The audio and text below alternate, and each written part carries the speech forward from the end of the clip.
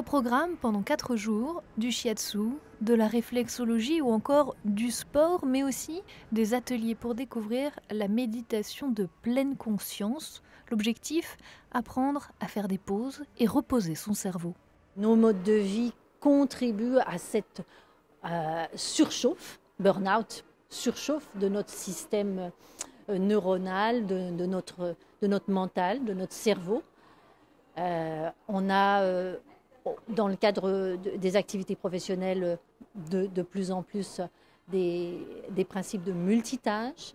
On a euh, une sursollicitation due également à la surdigitalisation. Toutes ces notifications euh, et le téléphone, Internet, euh, formidable, des outils extraordinaires, bien sûr, mais on a le revers de la médaille.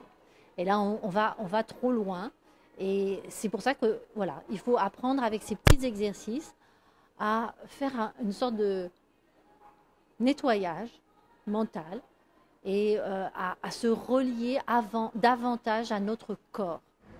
Les quatre jours du bien-être se déroulent du mercredi 23 au samedi 26 février.